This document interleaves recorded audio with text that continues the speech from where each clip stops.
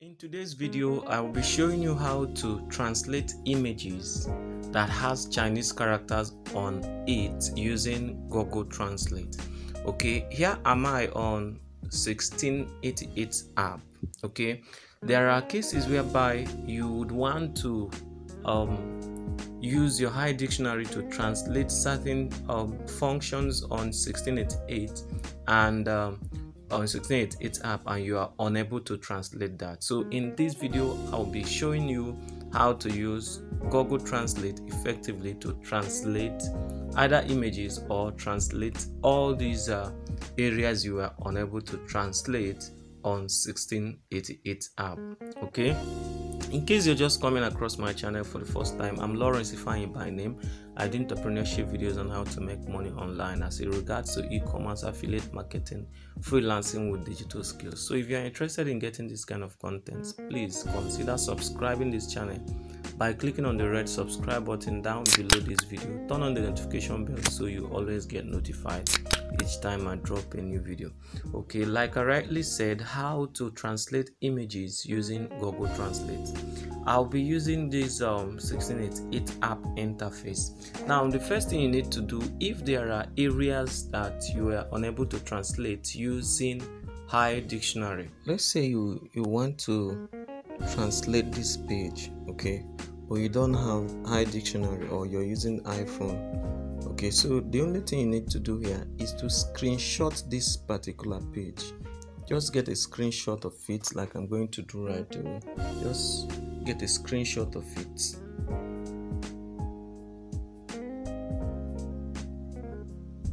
You can see i've taken a screenshot of this so i'm going to save it then the next thing you need to do is to open up your uh, google translate okay? Like i'm going to do now. You open up your google translate. As you open it up look at where you have camera. You can see where you have camera. You now click on it okay? You just need to click on it. I'm going to explore every features that it has.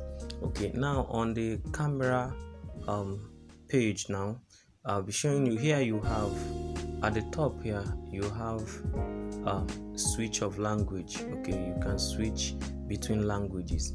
You have to make sure that the trans the um, language you are targeting will be on the left side okay? Like this chinese is in the left side now.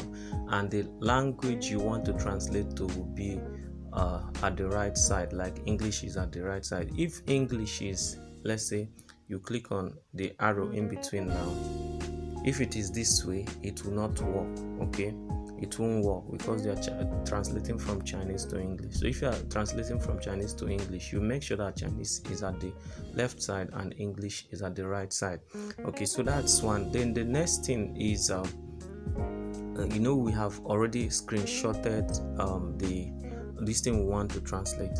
Now i want to show you other features. Here you have instant. Now this instant has to do with if you have a picture of what you want to translate okay?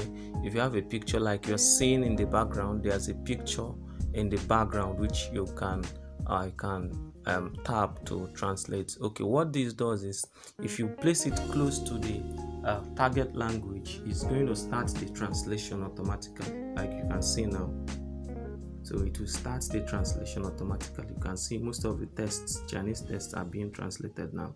So it will just focus on it and start translation you can see. So that's what that does. Now if it's not giving you what you want depending okay so this one is for physical um for live pictures okay. Then the second one is scan. You need to scan it. The second one is scan can see where you have scan here. You can see where you have scan. Okay is for you to scan the language. If you select it if you select it it's going to um, bring out the scan option. So if you want to scan this now to translate it you just need to uh, click where you have this small circle. As you have selected the scan option okay. So you just need to tap on it to now scan the language you can see. So as it does that you now need to move your finger over the selected languages like this. So you do now do the translation you can see. So any of them you move over is going to do the translation you can see.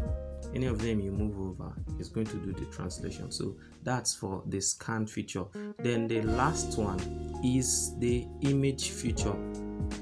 Okay? The image feature which has which the title here is import. So you need to what you need to do here is to import the picture or the image you just screenshotted. Okay. Now mind you that the image is not clear. Maybe you are in a dark area. You can as well um you can as well turn on the the flash your flashlight.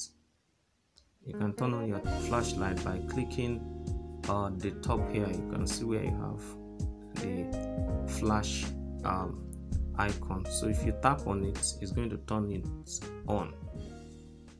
You can see it's on now so the image is clearer.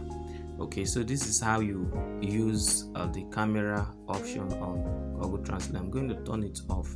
Then we'll go over to the image we just uh, screenshotted. So what you need to do is to click where you have import to import the image. I'll click on so it's going to load like so. Then you're going to see the last uh, image you just screenshotted. You tap on it like you're seeing here now. Is the first one. Okay so you tap on it. It's now going to load it into that page you can see.